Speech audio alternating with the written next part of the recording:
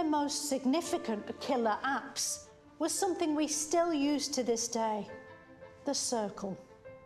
Wheels might look complicated to the likes of you, but the way they work is actually simple. The circle bit here revolves around a sort of sticky out bit in the middle, and then as the wheel skin here pushes against the ground, the pressure rolls the entire planet back and away from you, giving you the impression that you're moving forward, which incredibly you actually are.